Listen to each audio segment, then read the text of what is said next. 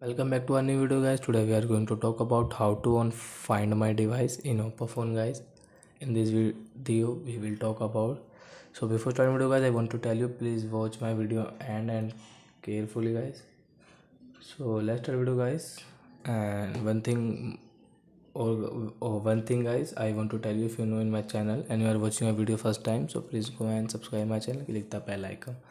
So i first of all open your setting app and guys come on security so after that you can see find my device and click here guys then on.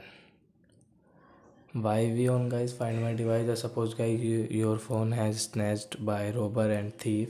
So after that guys you can track your phone but you will have to own guys first of all. After that you can track guys so i think as you have understood how to on find my device in oppo phone. So bye bye guys. We will meet to next video with new topic. But before guys please go and like my videos. Bye bye